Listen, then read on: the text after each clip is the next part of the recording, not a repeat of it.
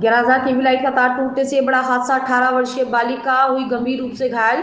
गंभीर हालत में ईएमटी तेज प्रकाश शर्मा व पायलट शैलेंद्र पचौरी के द्वारा एक सौ आठ एंबुलेंस से ओसीएससी पर लाया गया, जहाँ उसे गंभीर हालत में डॉक्टर ने देखते हुए प्राथमिक उपचार के बाद धौलपुर गवर्नमेंट हॉस्पिटल में किया रेफर।